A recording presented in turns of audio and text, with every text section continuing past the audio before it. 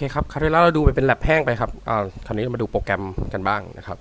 เอออันนี้เป็นโปรแกรมนะครับทั่วไปเราก็มีตัวแปร x นะครับแล้วก็สั่ง c out แล้วก็ nl ตรงนี้ก็คืออพิมพ์ค่า x ออกมานะครับ ยังไม่ได้มี pointer เลยนะครับลองมาดูกันนิดนึงก่อนครับ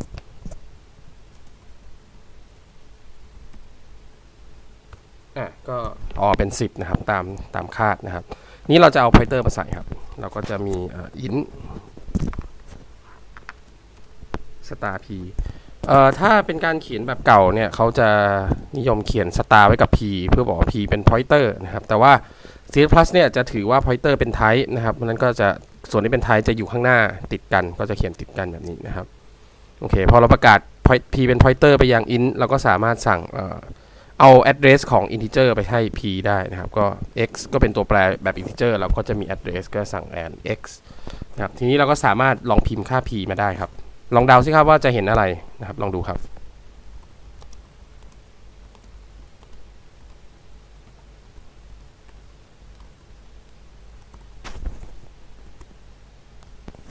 ลองเดาดูครับ เอ่อ ถ้าใครยังไม่เคยเห็นว่า pointer หน้าตาเป็นไง อะ ลองดูตรงนี้เลยนะครับ อะ compile ครับ run อะ อันนี้ก็เป็นเลขอะไรไม่รู้นะครับ เป็นเลขเยอะๆ ก็เป็นตำแหน่งของ x ที่อยู่ในหน่วยความจำของเราเนี่ยนะครับ อยู่ตรงนี้นะครับ 7 ffd b 0 2 8 5 ddc อันนี้เป็นเลขฐาน 16 นะครับ โอเค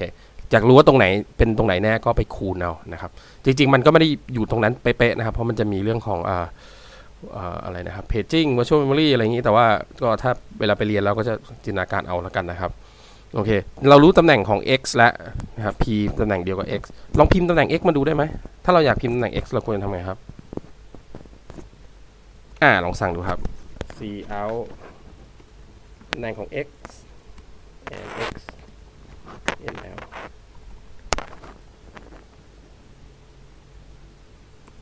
มันควรจะเป็นค่าอะไรครับ เดาได้ไหมครับ อ่า มันควรจะเป็นที่เดียวกันครับ เพราะว่า p ชี้ไปที่เดียวกับ x แล้วนะครับ ทีนี้เอ่อเราลองมาดูอีกนิดนึงครับ ทีนี้เราเอาค่าของที่ p ชี้ออกมาดูครับ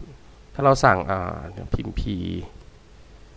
p แล้วก็ and star p ดูซิ star p เป็นยังไง มันควรจะเป็นค่าอะไรครับ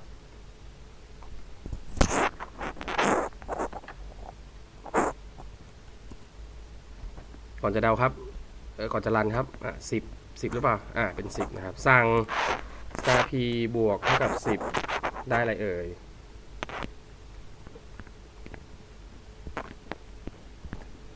โอ้ โทษครับ แล้วก็ สั่ง c เอา p p มาดูครับ แล้วก็ x มาดูด้วยควรจะเห็นอะไรครับ ลองเดาดูครับ ลองรันดูครับ ชึบ อ่ายี่สิบยี่สิบนะครับ แล้วถ้าเราสั่ง and p ล่ะ จะเห็นอะไร มีไหมคำถามแรกครับ and p มีหรือเปล่า มันคืออะไร แล้วถ้าเราลองใส่จะเห็นอะไรครับ ลองดูซิอ๋อ and p ก็เป็น pointer นะครับ มีตำแหน่งคิดว่าอยู่ใกล้ๆกับ x เลยนะครับก็เถิบมาหน่อยเดียวนะครับ 2c กับ 30 30 นะครับ ทีนี้ and p มันจะเป็น data ประเภทไหนนะมันเป็น pointer ไปยัง p แต่ p เป็น pointer ไปยัง int and p ก็จะเป็น pointer ไปยัง pointer ไปยัง in ก็เป็น int star star p แต่ว่าอันนี้ค่อยไปไล่ดูเอานะครับ โอเค ทีนี้เเรา เราลองพิมพ์ x มาดูครับเออเราพิมพ์ x มาแล้วเนอะ x ค่ามันเปลี่ยนเพราะว่าอะไรครับ เพราะว่าเออเพราะว่า p ชี้ไปที่ x แล้วเราก็เปลี่ยนค่าที่ p ชี้ก็จะเปลี่ยนโดน x ไปด้วยในตัว โดยที่เราไม่ได้ไปแก้ค่า x เลยนะครับโอเค ก่อนที่เราจะมาดูคลิปถัดไป ผมจะตั้งคำถามไปนิดนึงนะครับ ผมจะเขียนฟังก์ชันอันนี้ไว้ครับ เพื่อจะเข้าใจ pointer นะครับ เราอาจจะต้องดูที่มาที่ไปนี่ทำไมต้องมี pointer อย่างแรกก็คือ ในภาษา C เนี่ยนะครับจริงๆ C++ มีการส่งแบบ reference แล้วแต่ใน C เนี่ยทุกอย่างจะต้องส่งเป็นแบบ by value นะครับคือจะส่งค่าไปเป็นการ copy นะครับทีนี้ถ้าเราต้องการจะเขียนฟังก์ชันที่ที่ทำงานลักษณะนี้ครับ เช่นผมมีตัวแปร x แล้วผมอยากจะสั่ง increment นะครับ x แล้วให้ x มีค่าเพิ่มขึ้น1เนี่ยนะครับเราเขียนแบบนี้ลองเขียนดูนะครับ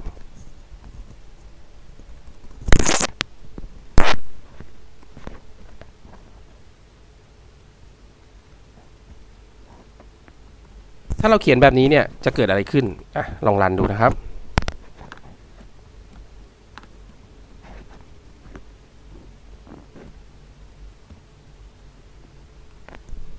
นะฮะสั่ง increment ส่งค่า x ไปฟังก์ชัน increment นะครับ increment ก็รับรับ x มาเป็น y นะครับ ตัวแปร y แล้วก็พวกบวกค่าขึ้น 1 นะครับ ดูซิว่าเป็นยังไง โอ้ ไม่มีการเปลี่ยนแปลงเลย x เอ๊ะทำไมมันไม่เปลี่ยนแปลง y บวกบวกมันไม่ไม่ทำงานหรือเปล่า อลองมาสั่งพิมพ์ดูครับ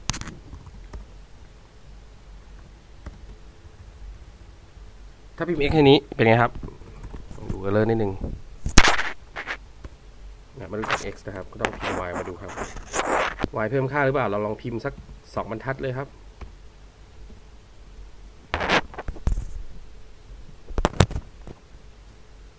คอมพล์หน่อย รัน เอ๊ะ y ก็จาก 10 เป็น 11 แต่ว่า x ไม่เปลี่ยน เพราะว่าอะไรครับ เพราะว่าการส่งค่าใน c ใน c เนี่ยนะครับ แบบนี้มันจะเป็นการ copy ก็คือ x จะถูก copy ไปให้ y แล้วเวลาเราแก้ค่า y x ก็จะไม่เปลี่ยนแปลงนะครับ ก่อนที่เราจะไปดูคลิปถัดไป ซึ่งเดี๋ยวเราจะอธิบายวิธีการ หรือว่าจะเป็นตัวอย่างการใช้ pointer เนี่ยนะครับ ก็อยากให้ลองไปจินตนาการนิดนึงนะครับ ให้นึกถึงสิ่งที่เราทำตอนแรกนะครับ คือเรามีกล่องกล่องๆนะครับ ว่าเกิดอะไรขึ้นบ้างนะครับผมก็จะวาดตัวอย่างให้ดูนิดนึงแล้วเดี๋ยวคุณลองไป ไปวาดต่อเอานะครับ ก็คือเรามีหน้าตาแบบนี้นะครับ ก็คือเรามีฟังก์ชัน main ใช่ไหมฮะ main อันนี้ main อีกอันคือ increment ใช่ไหม main ก็มีตัวแปร x ของมันอยู่นะครับ พอเราสั่ง x เท่ากับตอนแรกเป็น 10 ใช่ไหมเราสั่ง increment x สิ่งที่เกิดขึ้นก็คือ increment มาเรียก เสร็จแล้ว x ถูก copy ค่ามาให้ที่ y ใช่ไหมครับเพราะใน ในเอ่อ c เนี่ย เวลาส่งค่าให้ตัวแปรนะครับ ก็มีแต่ pass by value เท่านั้น ในฟังก์ชันนี้ก็จะมีตัวแปร y แต่ว่าสิ่งที่เกิดขึ้นก็คือ x กับ y เนี่ยเป็นตัวแปรคนละตัวนะครับก็มีกล่อง ลองรู้ซิว่าจะเกิดเกิดอะไรขึ้นในการทำงานแล้ว โปรแกรมทำงานแล้วเนี่ย x กับ y ในในในเวลาเราคิดเป็นกล่องๆเนี่ยมันเกิดอะไรขึ้นนะครับ แล้วทำไมสุดท้ายแล้ว y กลายเป็น 11 แล้ว x ไม่เปลี่ยนนะครับ แล้วเดี๋ยวเราลองมาดูในคลิปถัดไปครับ ถ้าเกิดเราลองเอา pointer มาใช้ดู จะให้ผลเป็นยังไงครับ คลิปนี้ไว้แค่นี้ก่อนครับ สวัสดีครับ